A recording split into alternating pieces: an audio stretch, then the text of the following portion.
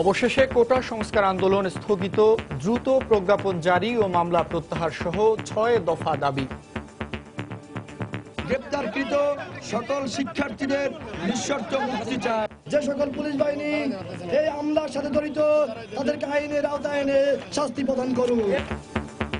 আন্দোলনকারীদের হয়রানি না করার আহ্বান উপাচার্যের। দুর্বৃত্তপনার স্থান এখানে নাই। আন্দোলনের যারা অংশগ্রহণ করে তারা কোনোভাবে হয়রানি না হয়। বারবার হ্যাক করা হচ্ছে দেশের সরকারি বিভিন্ন ওয়েবসাইট, গুরুত্বপূর্ণ তথ্য চুরির আশঙ্কা, টেকসই নিরাপত্তা ব্যবস্থা গড়ে তোলার তাগিদ। আওয়ামী লীগ সরকারের প্রচেষ্টায় দেশ এখন ষোলো হাজার মেগাওয়াট বিদ্যুৎ উৎপাদনে সক্ষম, জানালেন প্রধানমন্ত্রী। ব্যবহারে সবাইকে মিতব্যয়ী হওয়ার আহ্বান। গাজীপুর ও খুলনা সিটি নির্বাচনের মনোনয়নপত্র জমা দেওয়ার শেষ দিন আজ। রিটার্নিং কর্মকর্তার কার্যালয়ে নেতাকর্মীদের ভিড়।